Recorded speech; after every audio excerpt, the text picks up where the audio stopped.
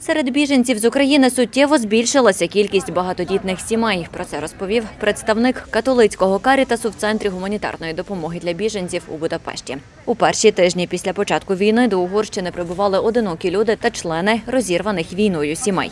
Протягом 27 квітня по допомогу до центру звернулося 312 осіб. 90 біженців переночували в транзитному пункті в Будапешті.